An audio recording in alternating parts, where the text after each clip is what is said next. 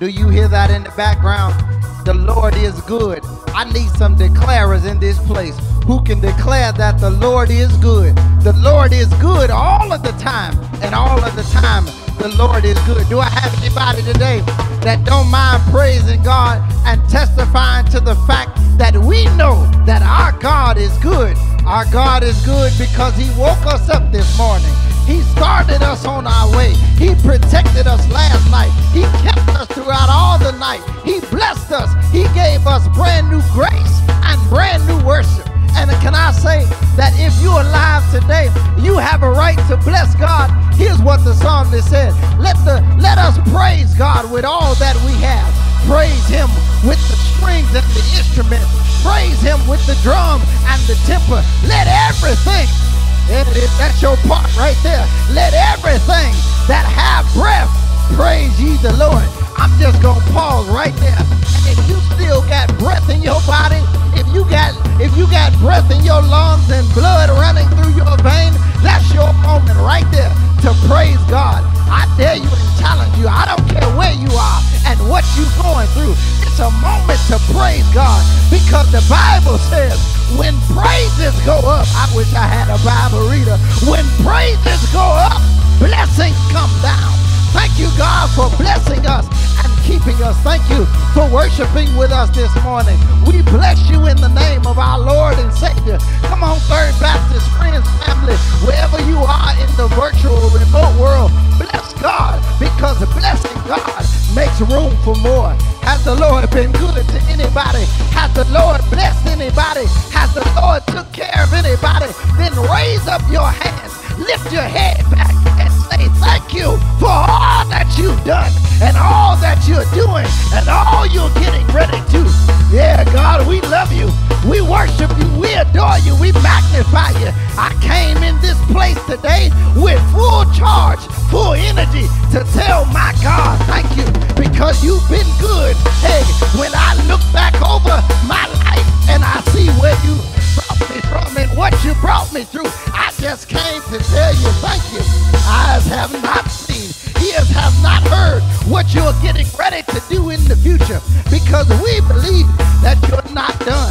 Just tell somebody that better days are on the way?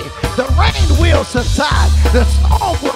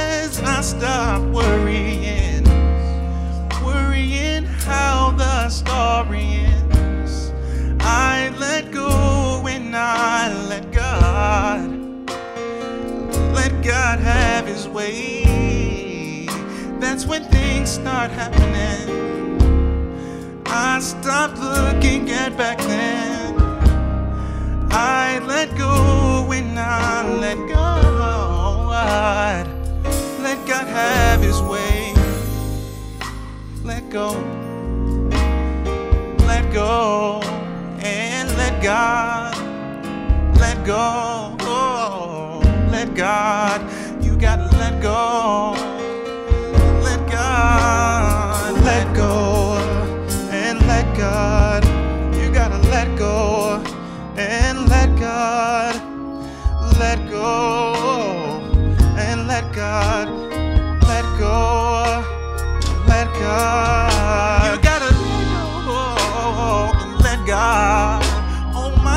Let go. And let God. My sister, you can't handle it. Let go. Oh, let go. And let God. Oh, he cares for you. And he loves you. And he wants to see you win. Wants to see you win. You gotta let go. Let go. And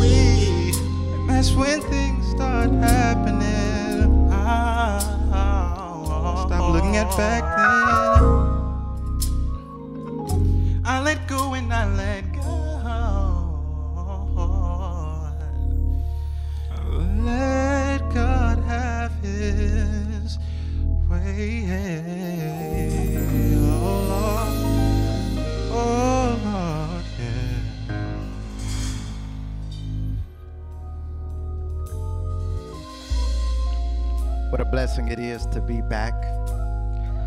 I am here today with one of our fellow ministers and who has been a blessing to this great house, the Reverend Dr. Joel Mitchell and his family, Reverend Dr. Naomi Mitchell and their children, Jasper and Jacoby, Sydney. They have all been a blessing to the house of Third Baptist. I must admit, I am filled with a bit of melancholy. It is bittersweet that we stand here today. I've come today as the pastor of Third Baptist Church of Chicago to tell you, our congregation, that Dr. Mitchell has accepted the call to the pastorate and is now pastoring his own church. Amen. We are grateful and we bless God for all of the blessings of this great family.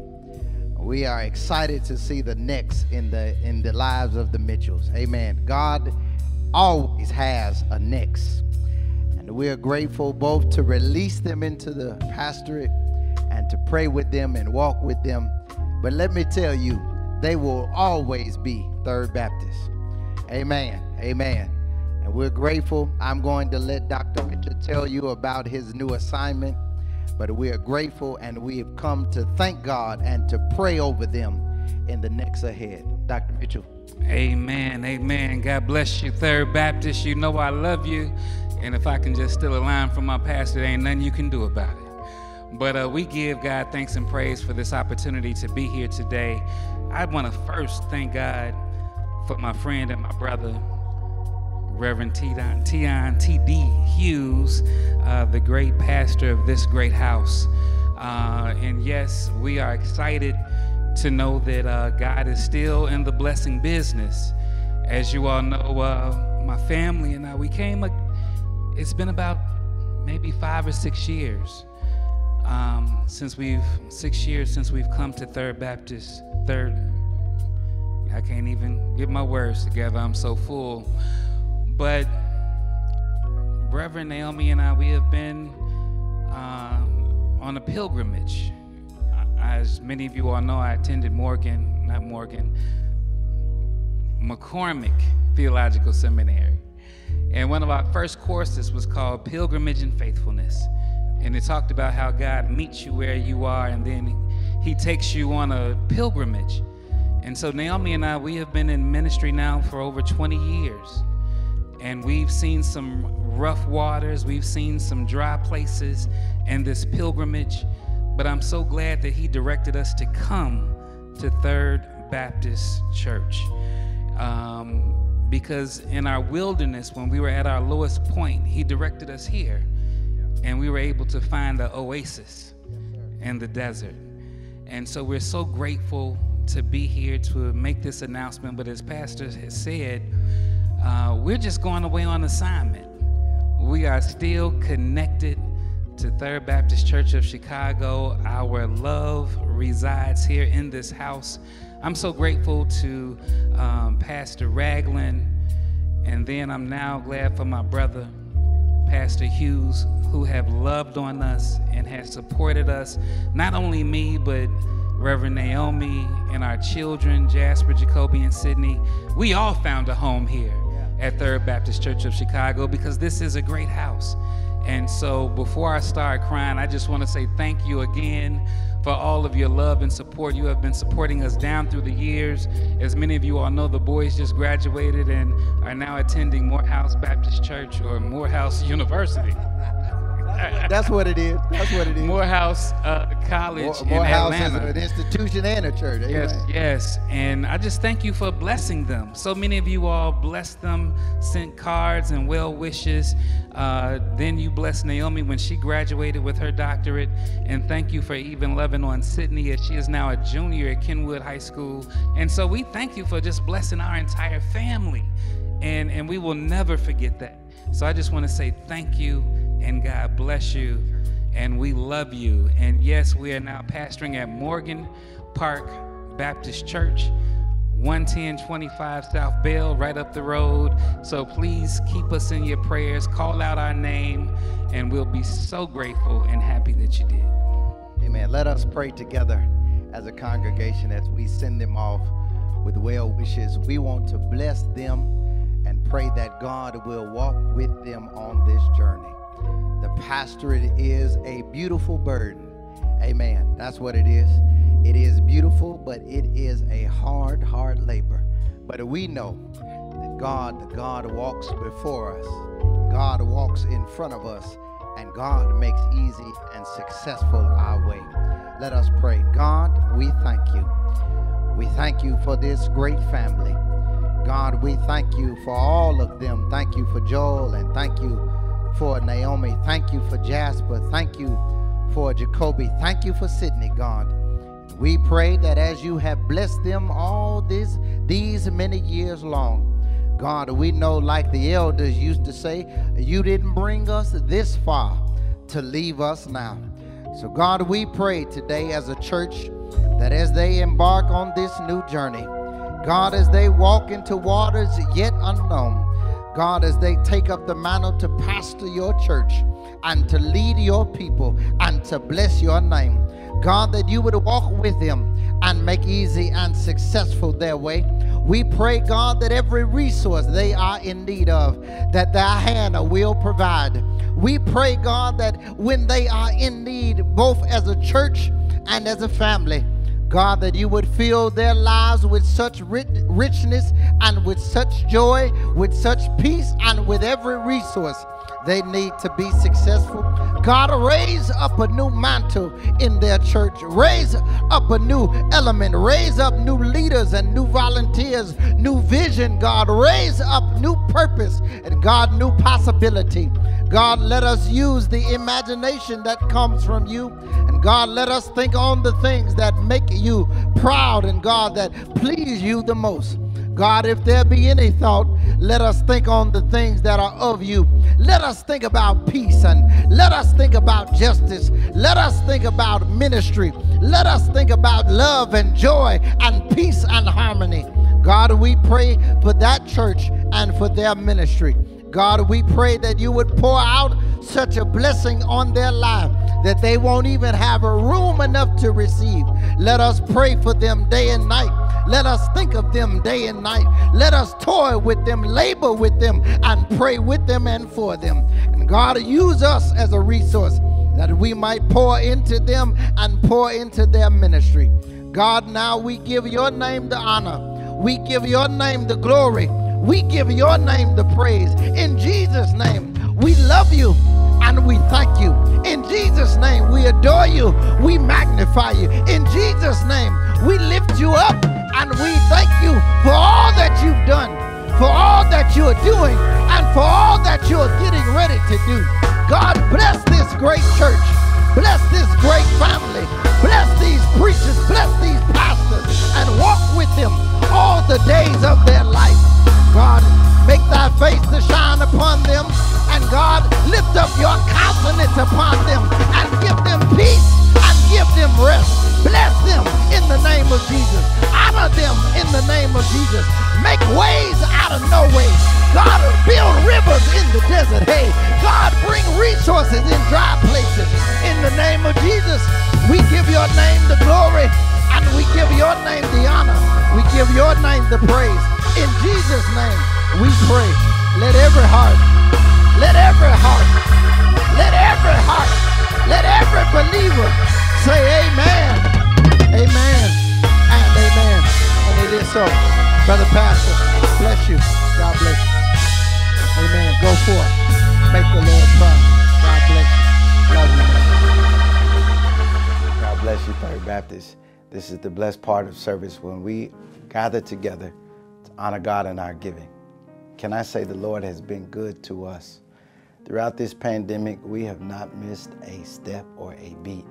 And we thank God for continuing to be good to us, to be faithful to his people. I pray that God continues to bless you also, and that God pours upon you the richness of his bountiful blessings all the day long. I pray that the Lord continues to keep you in these moments and bless you. And then that we uh, that God puts it on our hearts to bless his house and to bless his church so that we might bless his people. Let us pray together. God our Father, we thank you for your grace and for your mercy. We thank you for the many ways in which you bless us. And we know, God, we have come to know your goodness is far beyond monetary gift. God, you bless us with health and with strength God, you bless us with encouragement. God, you, you bless us with keeping power. You bless us to sustain our lives, and God, you are the keeper of our lives and the sustainer of our days. God, we can do nothing without you. God, we're able to do anything and everything in you and through you. God, we pray now that you would bless every giver today. Bless every gift. And God, that you would bless this, your great house we call Third Baptist Church of Chicago. We need you in such a mighty and special way to continue to show your face and to show your powerful might in these moments. God, keep us. Keep us encouraged, uplifted, God, and keep us blessed. And God, keep us reaching toward the mark of the high calling which is found in Christ Jesus. Bless every gift now. Bless every gift and every giver. And we'll be sure, careful always to give your name the glory, the honor, and the praise. In Jesus' name we pray. Let every heart say, Amen. Amen. Now, don't forget, if you want to bless the church with uh, your device, mobile device, electronically, you can do that through Ram and Cash App. You can just scan your phone right there at the screen, and your device will transition you into those applications where you can bless the church electronically. And don't forget, we have many, many multiple ways for you to be a blessing. You can text to give, you can cash out the church, you can make arrangements to drop it off at the finance office, you can mail it, and you can even drop it in our after hour slot. However you do it, I pray that the Lord blesses you and place upon your heart continue to be a blessing to God and to the kingdom of God so that we might be a blessing to God's people. God bless you and thank you. Amen.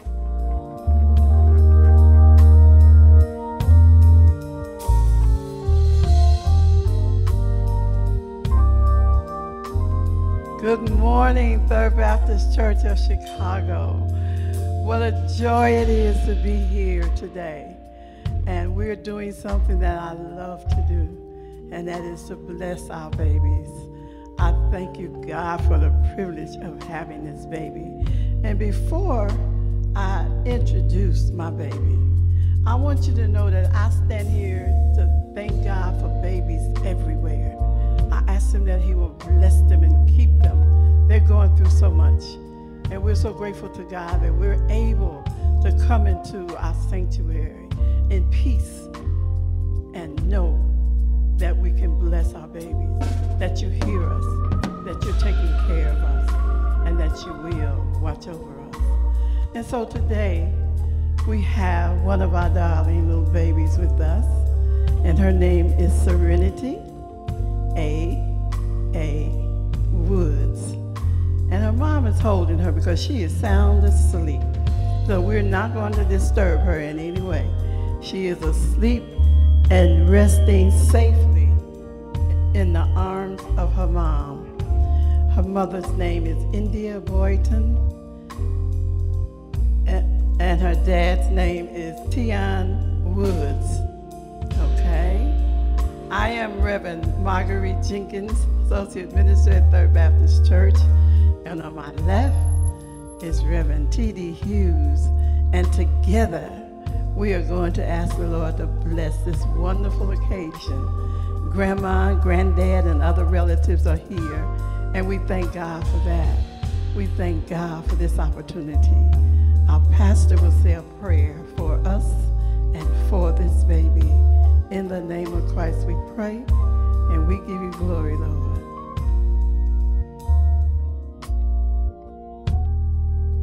What a blessing it is to bless children of God. Let me just say it is scriptural, it's biblical. Remember when Jesus was in the town and he told the disciples, Bring the children unto me forbid them not to come unto me. For to be like them is to be the kingdom of God. And we've come today not only as her extended family, that's what a church family is. We are her extended family. It takes a village to raise a child. She has more than one father. Amen.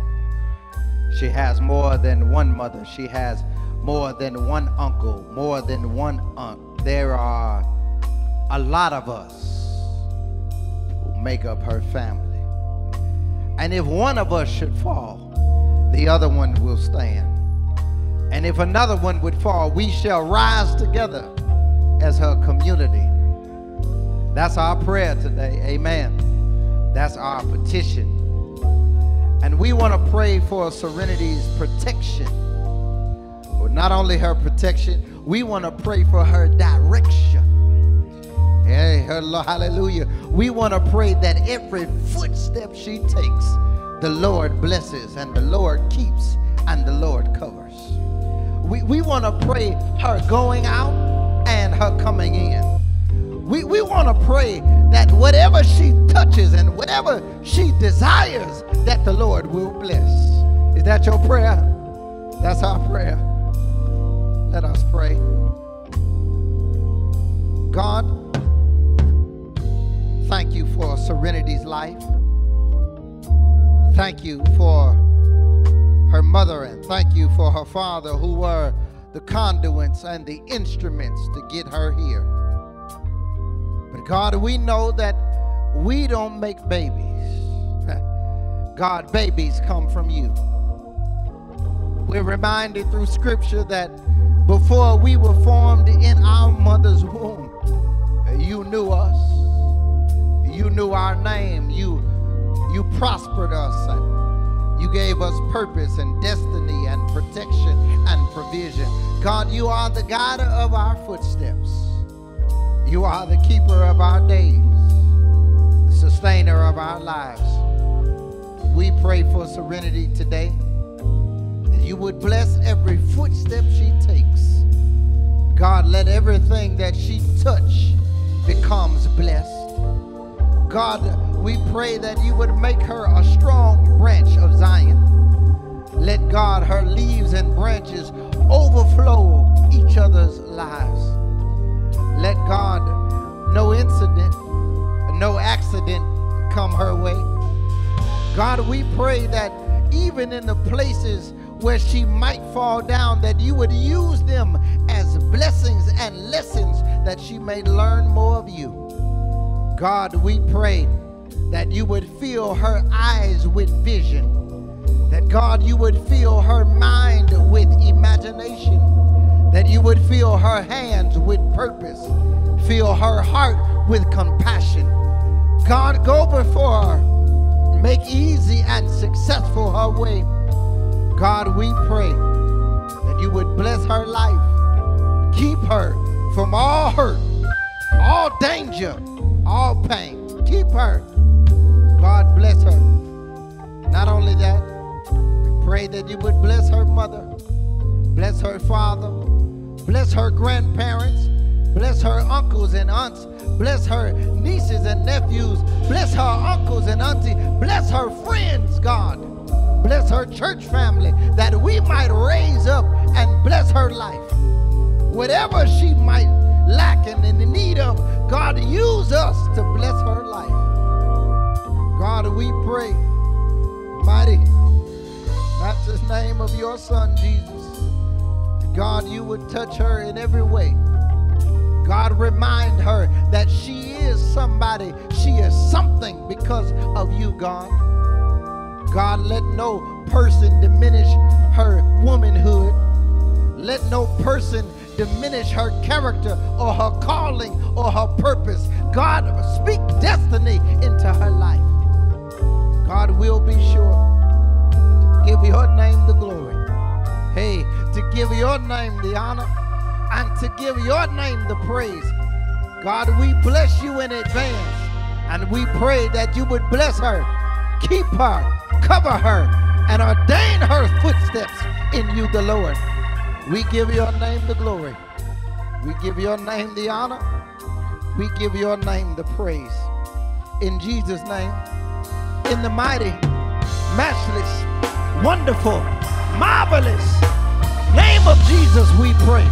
Let every heart who believes, let every heart that believes say amen, amen, and amen. We worship you, Lord. We adore you. We magnify you. We thank you. Hey, we bless you. Bless her. Bless her. Jesus' name we pray. Amen. Amen. It is so. Amen. Good afternoon, Third Baptist Church of Chicago. Hello, everyone. God bless you. Uh, yes, my name is Reverend Joel Mitchell, and I bring you greetings from Morgan Park Baptist Church. We are here at this moment for altar call, and as you all know, this month we are celebrating the men of Third Baptist Church of Chicago. Amen. So let's just give God a big amen and God bless you for all of the men of Third Baptist Church of Chicago. But we don't want to leave our sisters out. We're praying for everybody this morning. So I ask that this moment that you would please, wherever you may be, that you would bow your heads and lift up your hearts as we go to the throne in grace. Heavenly Father, we come into your presence at this time to say thank you. Father God, we thank you right now for your goodness, your grace, and your mercy. We thank you, oh God, for another opportunity to come back in the house of prayer. Father God, we know that things have been challenging over these past 18 months we've been dealing with the pandemic, but Lord, we thank you because you are yet God. We thank you because we still have life and life more abundantly. We thank you because when we woke up this morning, we had a reasonable portion of health and strength. When we woke up this morning, we could go to the kitchen and find something to eat. We thank you because when we woke up this morning, we had clothes to put on our back. And so, Lord, it is with those thoughts in mind that we come right now at this moment to give you thanks and praise. Father God, we thank you today for Third Baptist Church of Chicago. I thank you, oh God, for my friend and brother, Reverend. Tion Hughes, oh God. I thank you for his pastoral leadership. I thank you for giving him the power and presence of mind to pastor during a pandemic. Father God, I thank you for giving him wisdom, knowledge, and insight as to how to lead your people. Lord God, I thank you for his wife who stands alongside. I thank you for the baby girls, Lord God. And then, Lord, we thank you, Father, for Third Baptist Church of Chicago. We understand that at this very moment, there are people who are sick, there are people who are shut in, there are people who are on their bereavement journey. But Lord God, we thank you right now because weeping may endure for a night, but oh, joy comes in the morning. So, Lord, we come with joyful hearts to give you thanks and praise for blessing us, for keeping us, and for allowing us to be in the fellowship of the saints. Now, Lord God, as we look around, we don't want to be selfish this morning. We know that there are some people out there who do not have it as well as we do. There are some people who are homeless. There are some people who are hungry. There are some people who are locked in jail. Lord God, we pray right now that you would just look across the length and breadth of this city, oh God. We pray that you would bless right now in the name of Jesus. There's some man, some woman, a boy, a girl that do not know you in the pardoning of their sins. So, Lord, we pray that you would bless right now as only you can. We pray that you would look across the war torn parts of our country. We pray that you would bless all of those who have been impacted by Hurricane Ida. Lord God, we pray that you would touch right now in the name of Jesus. Then, Lord God, you said that if my people who are called by my name would humble themselves, turn from their wicked ways, and pray that you would hear from heaven and that you would heal the land. Lord God, our land needs a healing, and we know that you are yet able to heal, sanctify, and deliver. So we thank you now, oh God. It is in the name of Jesus that we come to the throne. It is in the name of Jesus that we ask all of these prayers. It is in the name of Jesus that we say thank you, that we say hallelujah, that we bless your name. It is in Jesus' name, and for his sake we do pray. Let every heart say amen. Come on, say it like you mean it. I know you might be in the living room, but come on, throw your hands back and say amen. It's in Jesus' name we pray. Hallelujah. Thank you, Jesus. Amen and glory to God. Blessing it is to be back in the house of God behind the sacred desk. Let me pause in reverence and humility and say thank you to our media team. Amen. To our media director, Courtney Trotter, and our sound techs, Lamar and Martell, and our musicians, Nick and Will. We are grateful. Thank you for Reverend Michael and for our tech assistant, Bridget. Amen. It takes team of people to do this work, we are grateful. Amen. Join me in the Old Testament, the book of Joshua. Amen. Joshua, the Old Testament, Joshua. Joshua, right after the book of Deuteronomy, Joshua chapter 24. It's Men's Month, amen, in the life of Third Baptist. It's Men's Month. It is the month where we encourage and preach and, and pray and support men. Amen. Amen, somebody. Men need to be supported. Amen. Join me in Joshua chapter 24. We have a bit of reading today, and uh, I'm going to read it. Amen. And pray that you would read it with me uh, so that we might bless the Lord together. Joshua 24, I'll start reading at verse 1 and commence uh, in verse 15. Joshua 24. I'll be reading from the NRSV, the New Revised Standard Version of the Bible. And it reads Then Joshua gathered all of the tribes of Israel to Shechem summoned the elders, the heads, the judges, and the officers of Israel. And they presented themselves before God. And Joshua said to all of the people, Thus said the Lord, the God of Israel. Long ago, your ancestors, Terah and his sons Abraham and Nahor, lived beyond the Euphrates and served other gods. Then I took your father Abraham from beyond the river and led him through all of the land of Canaan and made his offspring many. I gave him Isaac, and to Isaac I gave Jacob and Esau. I gave Esau the hill country of Seir to possess, but Jacob and his children went down to Egypt. Then I sent Moses and Aaron, and I plagued Egypt with what I did its midst. And afterwards I brought you out. When I brought your ancestors out of Egypt, you came to the sea, and the Egyptians pursued your ancestors with chariots and with horsemen to the Red Sea.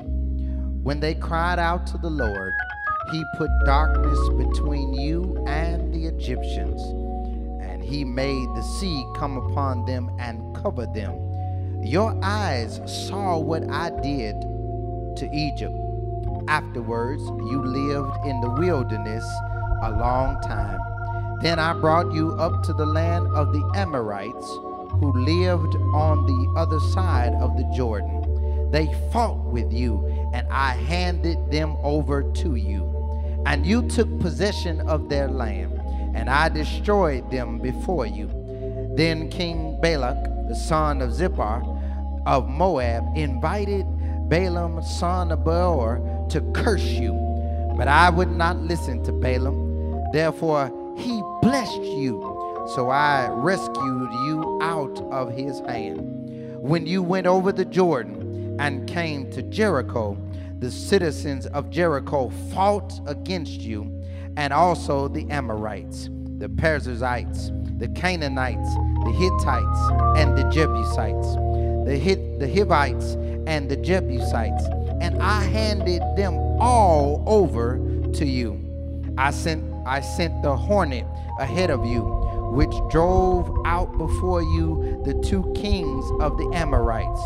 It was only by your sword or by your bow. If I gave you a land to which you have not belonged, and towns to which you had not built, and you and you live in them, you eat the fruit of their vineyards and their olive yards that you did not plant.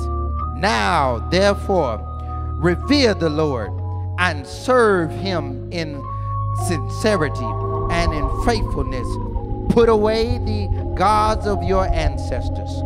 Serve the, the, your ancestors served before uh, before you beyond the river in the Egyptian and serve the Lord. Now, if you are unwilling to serve the Lord, choose to this day whom you will serve, whether the gods of your ancestors served in the region beyond the river or the gods of the Amorites in whose land you now are living.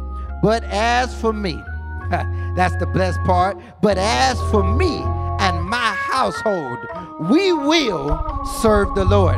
I feel like saying that one more time. But as for me and my household, we will serve the Lord. May the Lord add a blessing to the reading, hearing, especially the doing of his holy word. Thank God for the word of God. This is the word of God for the people of God. Thanks be unto God. Amen.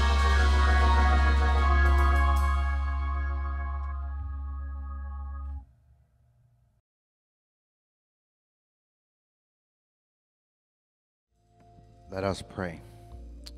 God our Father, we thank you for grace and for mercy. We thank you for provision, resource, energy, and your spirit. God, there is nothing that we can do for you without you. And so we summoned your spirit today that you would fall fresh now on your people. And take your preacher, I pray, and hide me so far behind and beneath cross so only thy face might be seen. Breathe on my words that they might be thine. God, use me for your glory And God, we pray that you would take all of the glory and leave for us the blessing. We pray these prayers through the mighty, matchless name of your Son, Jesus, so that through him one day we might not only be what you desire, but one day fully we might be what you deserve. In Jesus' name we pray. Let every heart say, Amen. It's Men's Month. I want to try my hand at it today. Amen. You've heard the text read. I want to preach from these profound texts today found in the book of Joshua uh, the mission of a man. Amen. The mission of a man. Mission of a man. Have you seen the future of your promised land? To believe in something that has not yet happened is to believe that there is a land of promise. All of us, whether we are men, women, children, or adults, all of us have a desired promised land. And if there is anyone who lacks thoughts of a promised land, it is a person that lacks vision and imagination of a land that is better and filled with promise. The best thinker is the one who thinks about thinking. They, they think about things until the things that they think about become a reality. They think about a land and a promised land in their thoughts. Such is the scenery and the scenario cast in the text of Joshua, the promise bearer who carries the promises of God, is now being blessed by God in his endeavor. And God, because God has blessed him and God has blessed the people, God makes three promises to Joshua that are noteworthy for the sake of proper theological context. God says to Joshua, Every place that the sole of your feet tread upon, I have given you as I promised Moses. Promise number one.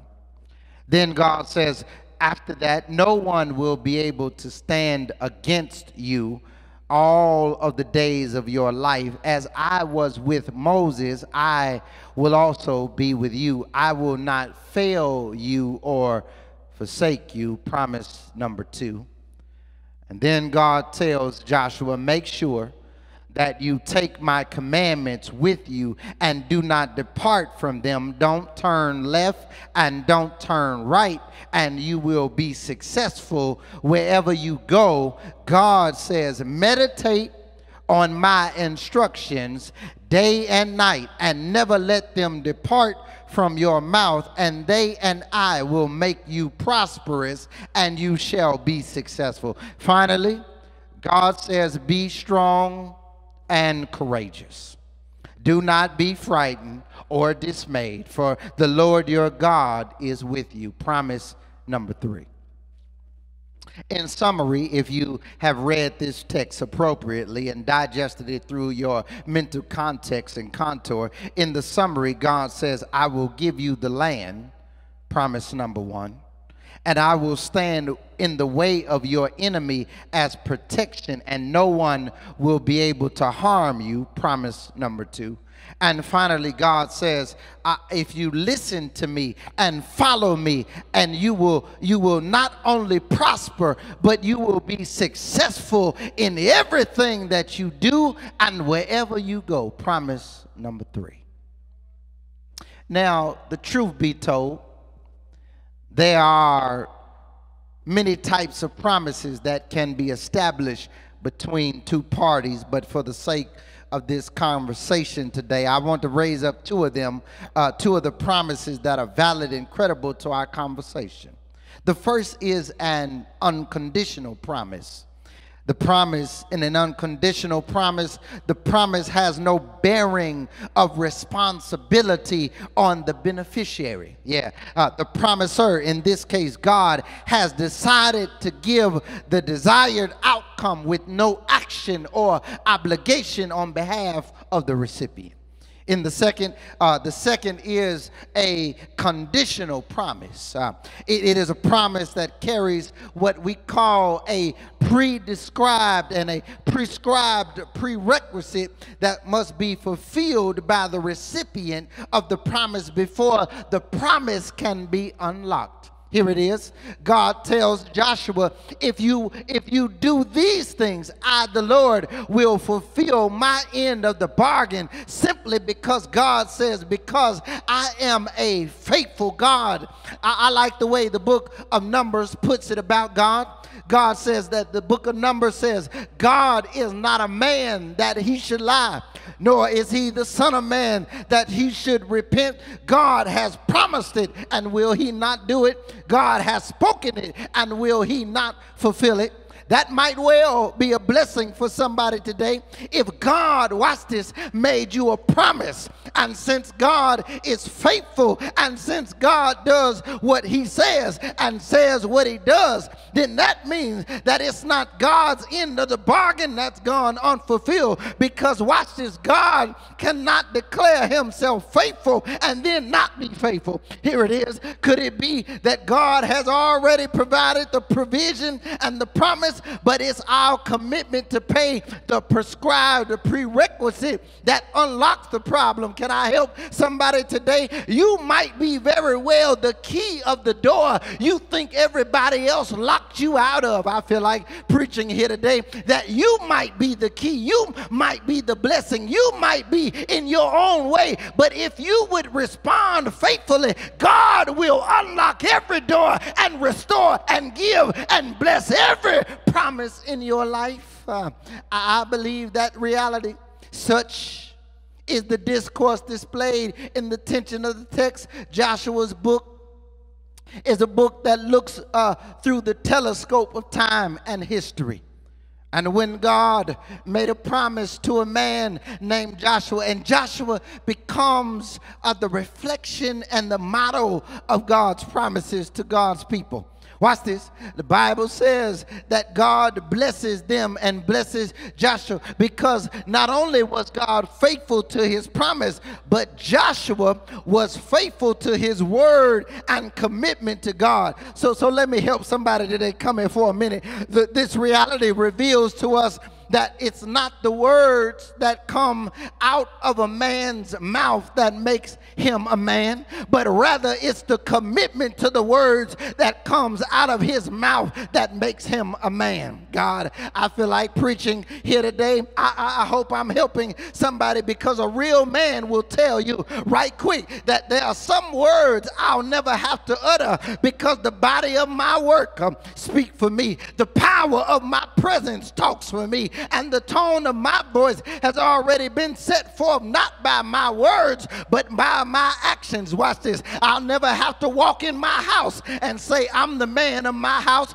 because everything I do in my house reflects and in my life reflects that I'm the man of my house. I'll never have to tell my wife I'm the man because I treat my wife like I'm her man. I wish I had some witnesses. I'll never have to tell my children I'm your father because everything that I do and say and live by tells them I'm their father. I feel like preaching now.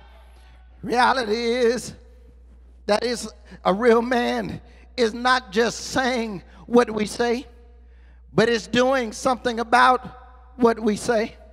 Watch this. Uh, it is, and the tone of our voice is already set forth by the actions of my faithful commitment. Watch this to prophetically perform what I say in my life. Such is the homily hidden in the background of the text, and that and, that is that God, watch this, will never give you a pre uh, a prescribed prerequisite without giving you a predestined platform to fulfill it. Y'all didn't catch it. Watch this. Let me say it again. God will never give you a prescribed prerequisite without giving you a predestined platform to fulfill what He called you to do.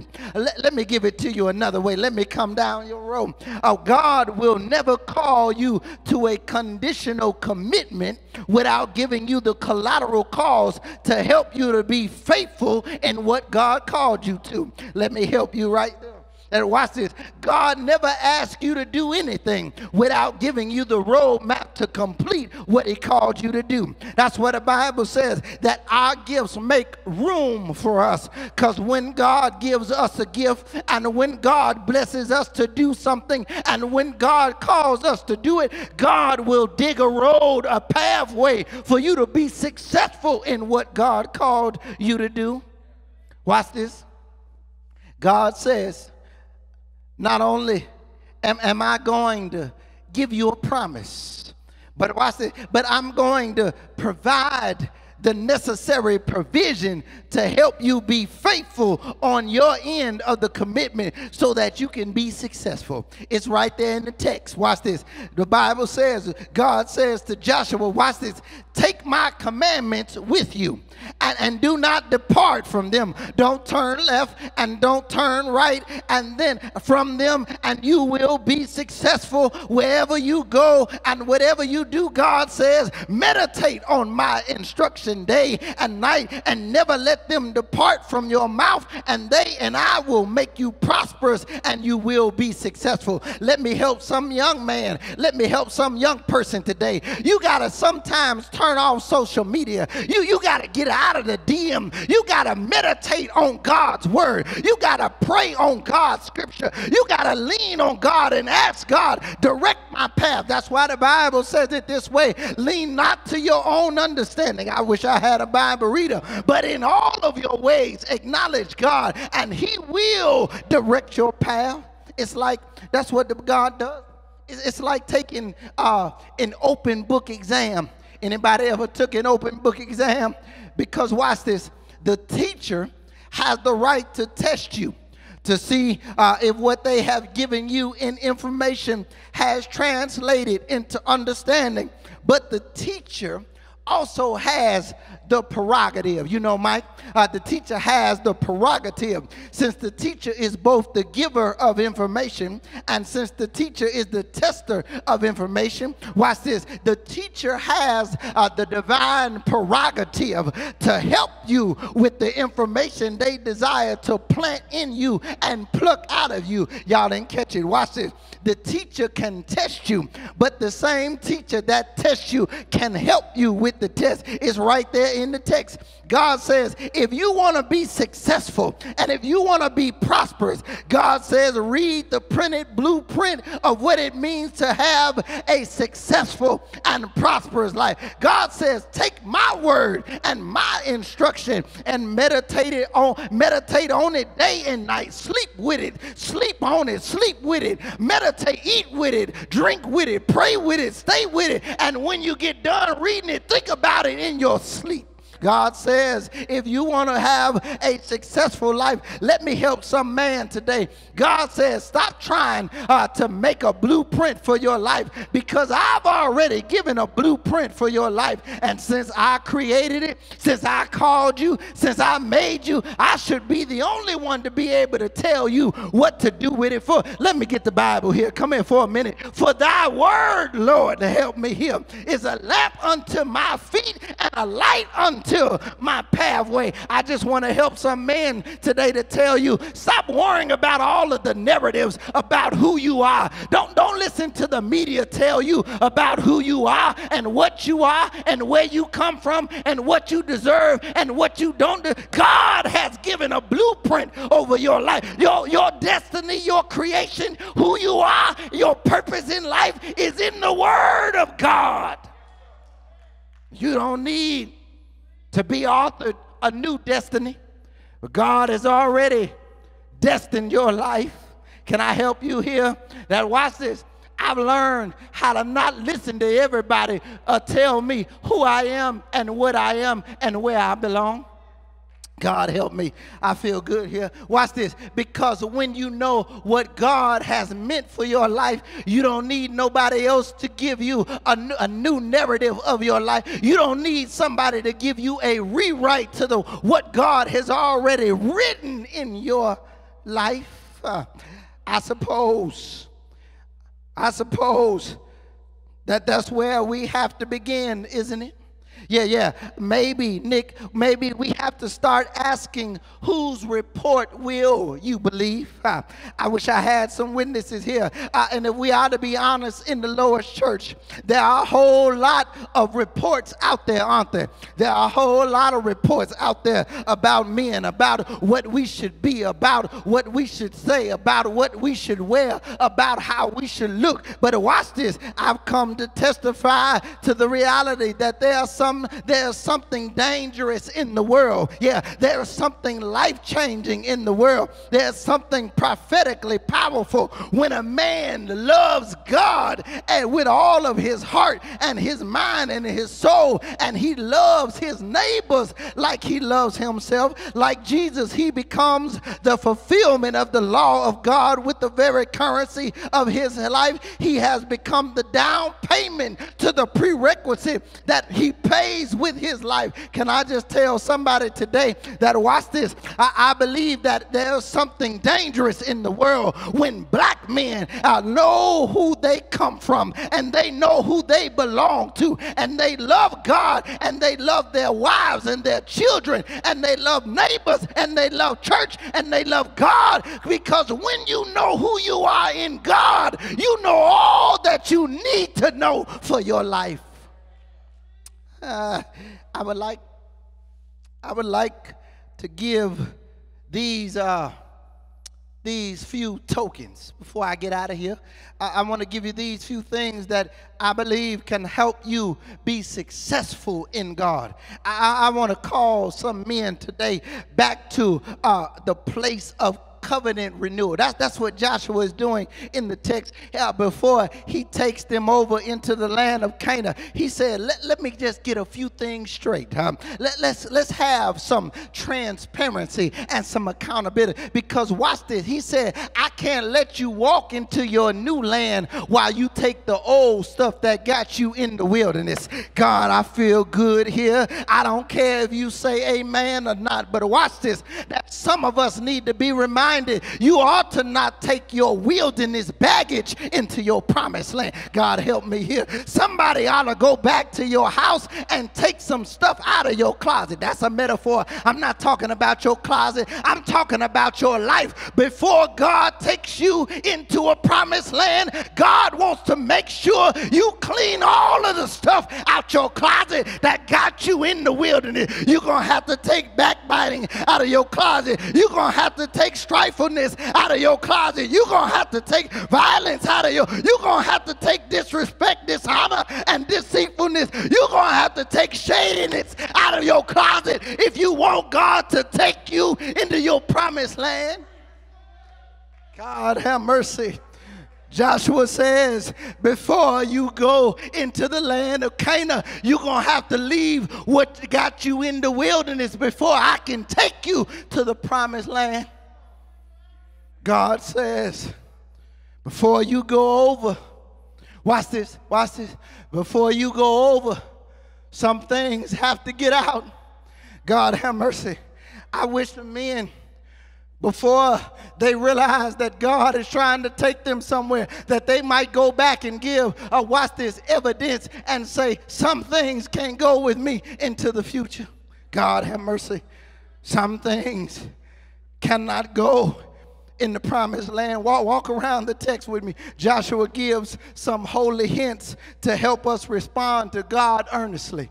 Watch this. First, Joshua says, Joshua says, watch this, the best way for you to report to duty is to serve God with sincerity and faithfulness. By watch what he says. He says by putting away all of the other gods that we served and you serve the only true living god. I, let me pause here parenthetically because i gotta help somebody because there's always a critic in the room isn't it yeah, yeah. There's always somebody talking about that's why I don't go to church. That that's why I don't believe in God. That that's why I don't believe in the Bible because it got it has all of these problems. And the people in church are the people in church, and they they don't they don't believe what they say. But watch this. Let me help somebody.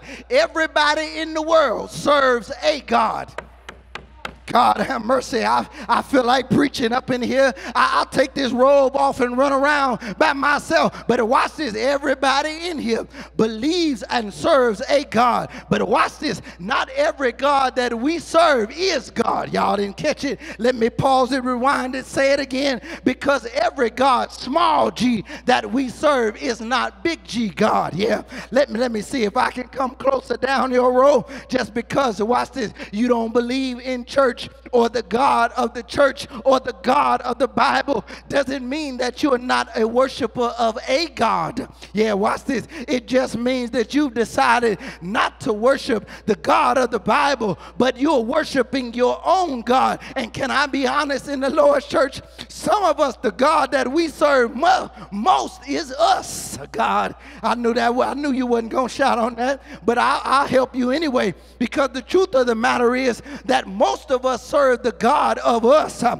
watch this. When life is all about you and you got to get all that you want and it's all about you all of the time and you don't celebrate nobody else and you jealous when God blesses, then guess what? You're the God that you serve. You are your own God. And can I tell you, the worst place to be is in the servitude and the solidarity of your own godliness because you can never be as good as God or good at all. That's why we need God to be God.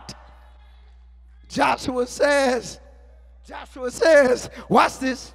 Joshua says, he refers to the other gods that the Israelites worship on the other side of the river. And when you watch this, when you do biblical research of the other gods that they serve, all of the other gods, watch this, that they serve, watch this, they, they, they, they serve them so that they may gain something.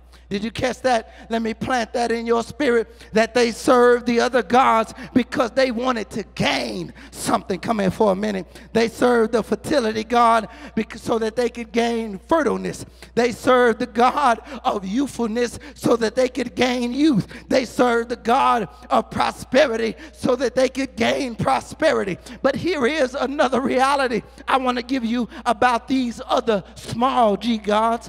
These gods were sought not just because of gain, but watch this the people who served them uh, had to also give them something. They, they had to bring them something. The people had to offer them something to be God, for them to be God. May I suggest? May I suggest that if you have to give a God something for them to be God, that's not God at all. Let me pause and, and let you catch that in your spirit. If you got to give a God something so that they can be God, that's not God. Watch this, because a real worshiper and a real believer will tell you that our God doesn't require us to give him anything to be God, for he's God all by himself. He's God in the morning morning. He's God in the midday. He's God at night. He's God on Monday, Tuesday, Wednesday, Friday. He's God on Sunday. And if we don't bring him anything, he's still God. Watch this. Joshua says, the true and living God can only be served in one way. To serve God, you have to do it in sincerity and faithfulness. And let me add this. Let me add this. Uh, watch this. You, you, you know that your walk with God is grown and mature when you can serve God not for gain. Ah, God. But but but you serve God to give God something out of what you already gotten from his hand. God have mercy. That watch this, that you don't serve God to gain something from God. You serve God to give God something from what you've already gained from his hand. Because everything that you have, he's already provided. God says, watch this. Here the Bible says, you remember when Jesus looks at the servant, he says, Oh, you've been faithful, servant. He says, Well done, my good and faithful servant, for you've been faithful. Watch this over a few things.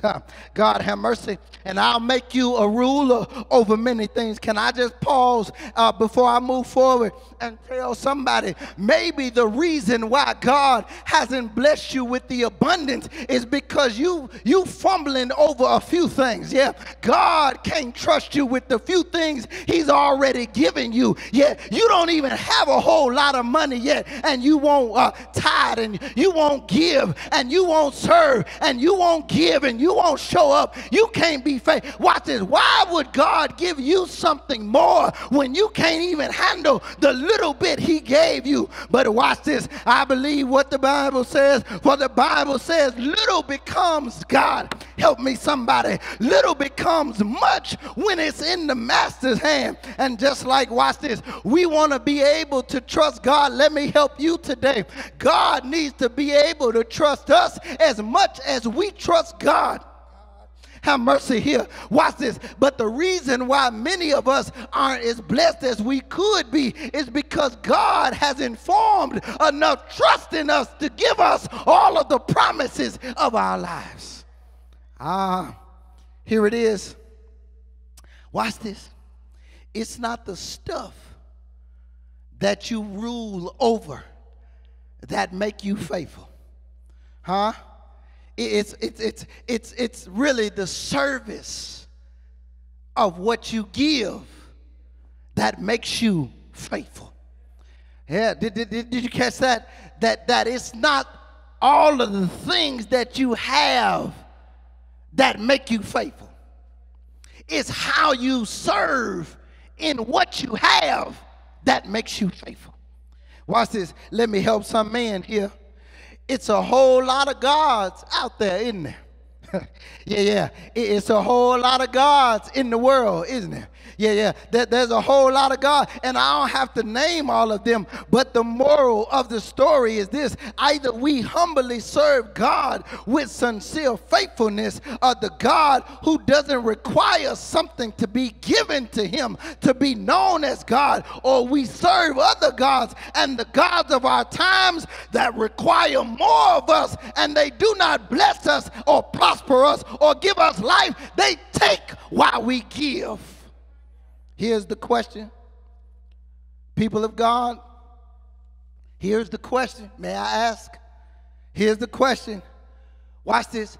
Which gods have you given your life to? God, have mercy. Which which God, which of the gods have you given your service to? Which of the gods have you given your mind to? Which which gods have you given your heart to? Which of the gods have you given you to? Joshua says, It's your choice now. Joshua gets to the edge of the river before they go over to Canaan, and Joshua looks at the people and says, We got to have a man check. We, we got to have a woman check. We got to have a people check. Joshua looks at the people and says, It's your choice now. You, you have to choose. Watch this. Which God you're going to serve? Because the reality of what I've already prescribed is that either we serve God or we're serving a God.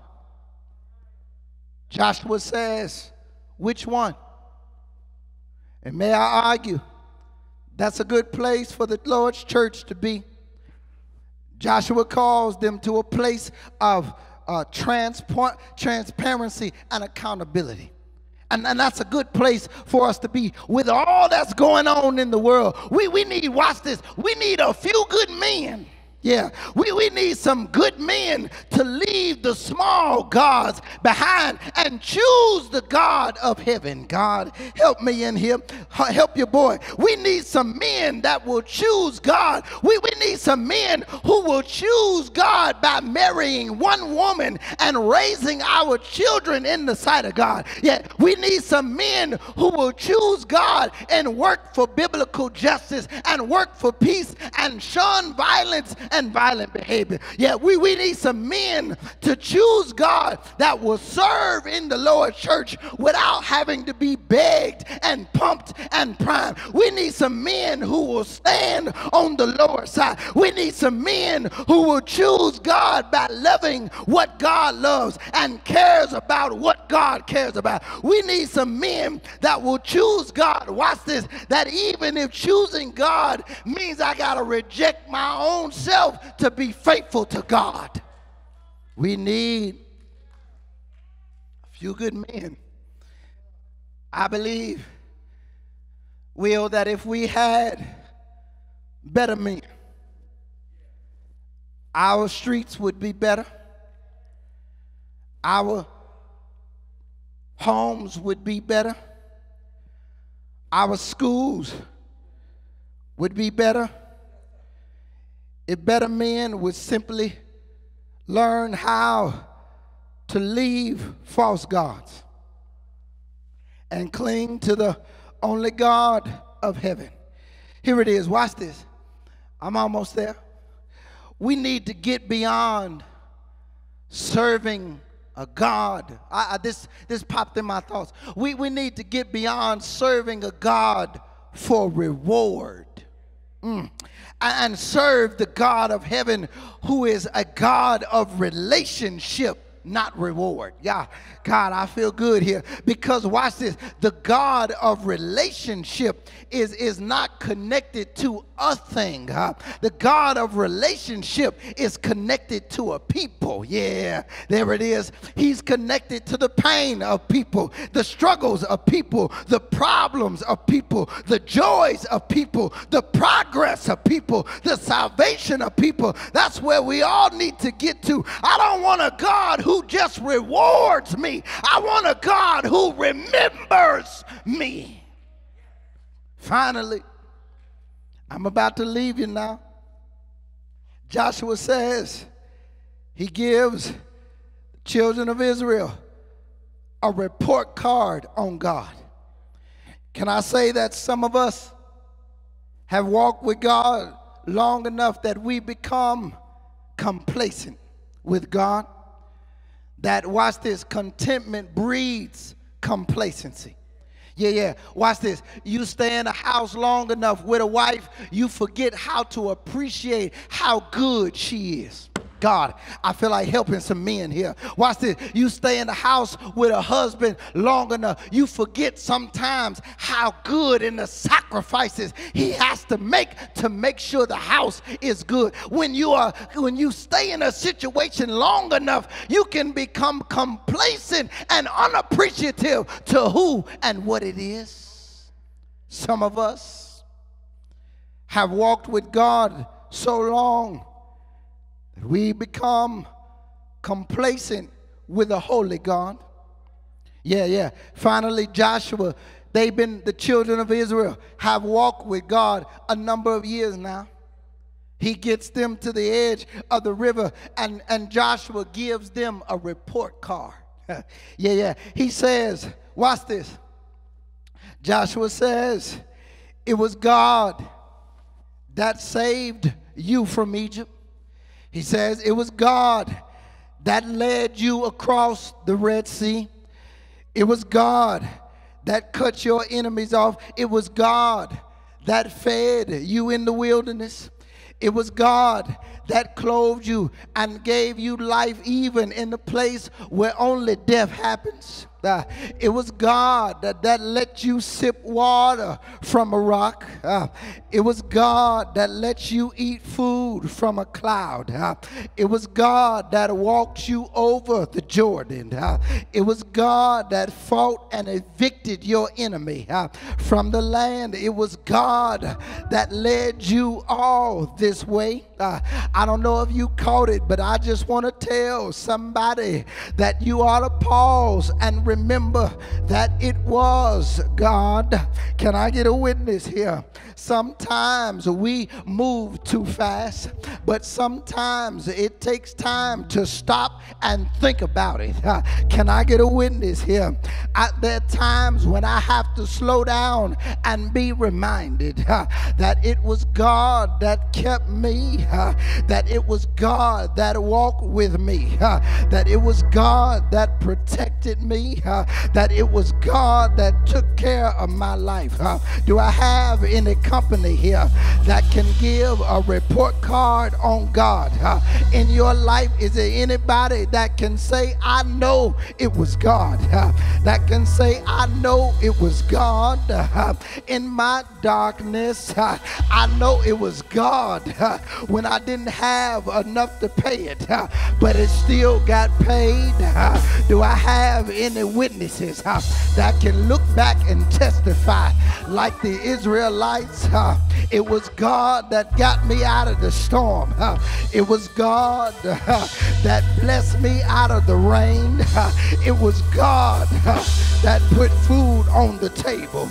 It was God that raised me from a bed of illness. It was God that blessed me from cancer. It was God that kept my children safe. It was God that blessed my walk with Him. It was God that kept me sane in the midst of struggle. It was God that kept me faithful in pain. It was God that kept me believing when there was nothing. It was God that made a table before me in the presence of my enemies. It was God that even though I walked through the valley of the shadow of death, it was God uh, who made a way. It was God uh, who kept me in the valley. It was God uh, who gave me vision when I could not see. Can I get a witness here who can look back over life and say, I know it was God because nobody could bring me out. Nobody could have saved me. Nobody could have protected me. Nobody could have healed me. I know it was God who lifted me, who gave me a new testimony. Joshua said, uh, we need to check ourselves uh, and count ourselves uh, and discover uh, if we are still faithful uh, before God uh, takes us over into the promised land. God, Joshua looks at the people and says, It was God who brought you, it was God who carried you, it was God who walked you over the river, it was God that failed you, that fed you in the wilderness. It was God that let you drink from a rock that let you see in the darkness. It was God that kept you and walked with you.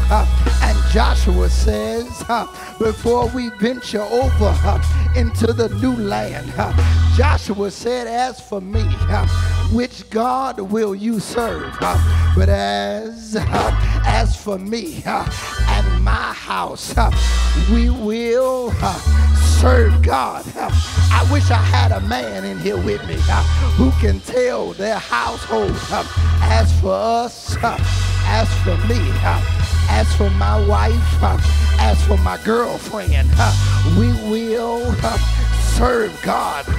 You ought to just speak that over somebody. Speak over your life.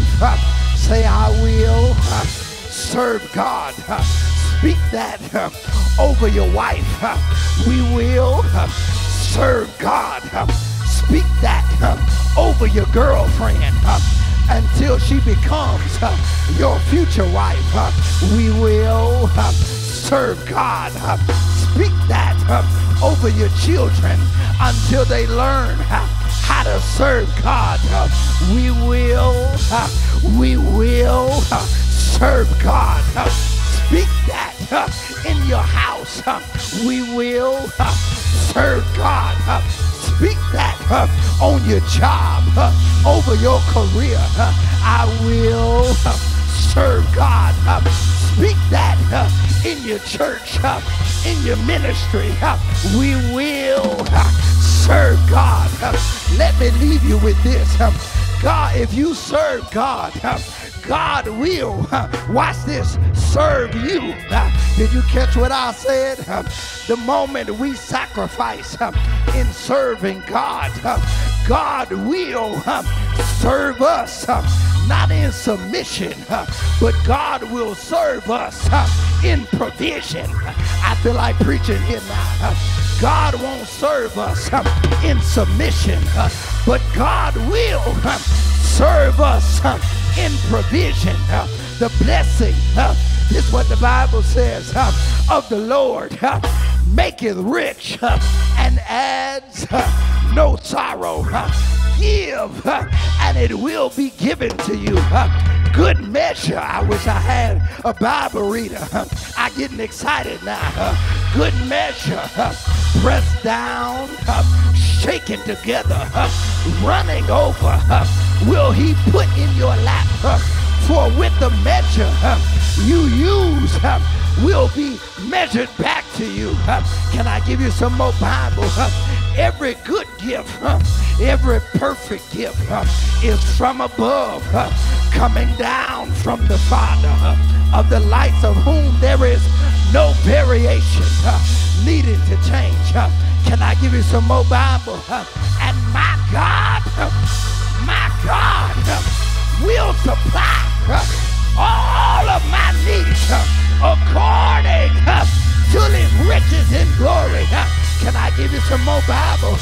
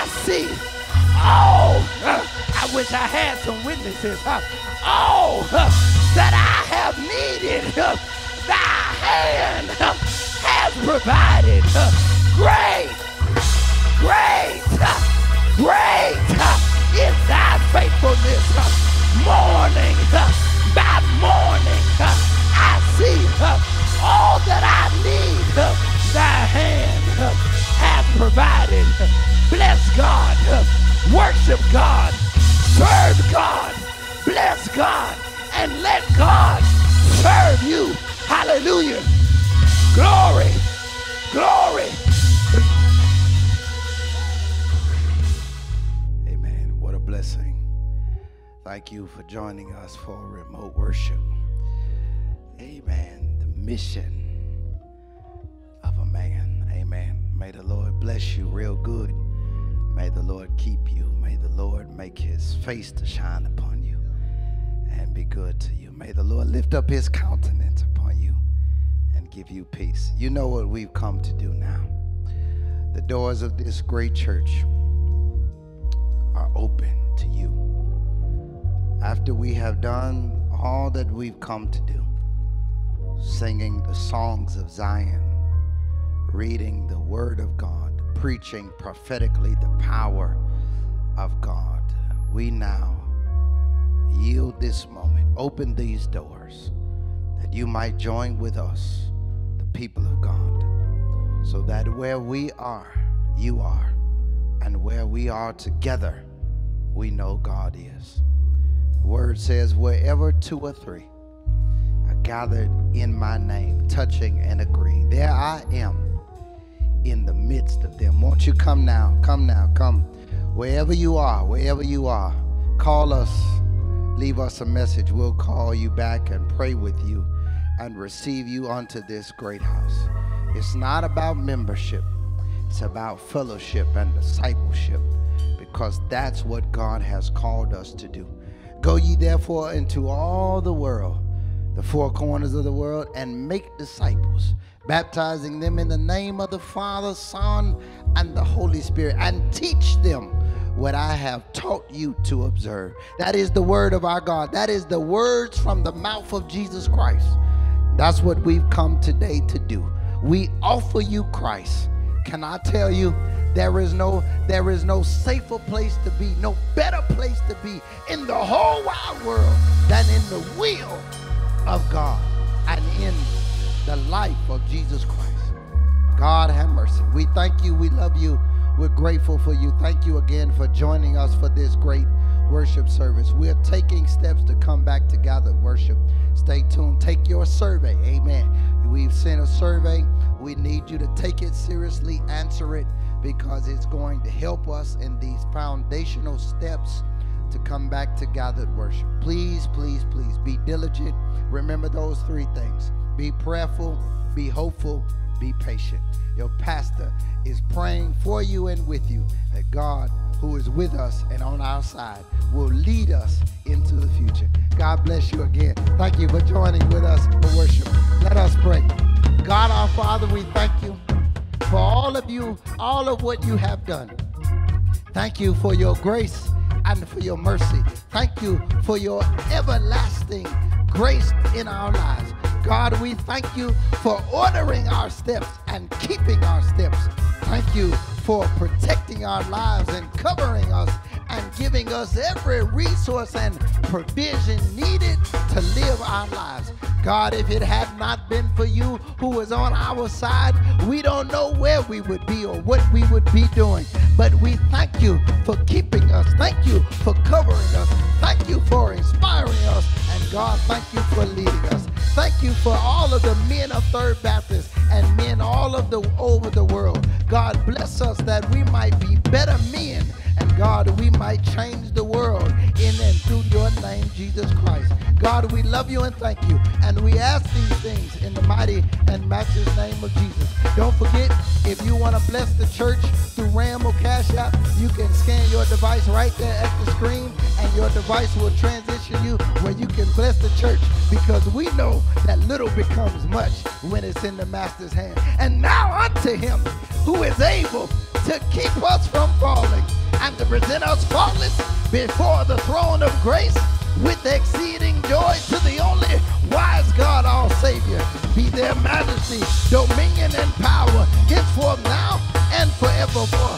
Lord, we love you and we thank you. We worship you, we adore you, we magnify you, we give your name the glory and the honor and praise for all that you've done, all that you're doing, and all that you're getting ready to do.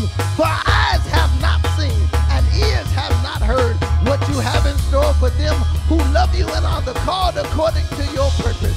For we know that all things work together for the good of them who love the Lord and are the called according to his purpose.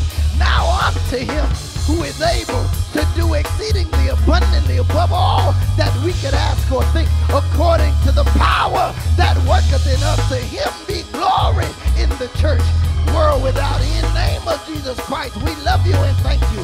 We honor you, we worship you, we adore you, we magnify you, we glorify you. We give your name the glory, honor, and praise. In Jesus' name we pray. Let every heart, let every believer that believes say amen. Amen and amen. And it is so. Third Baptist Church of Chicago, your pastor loves you and ain't nothing you can do about it. Come on.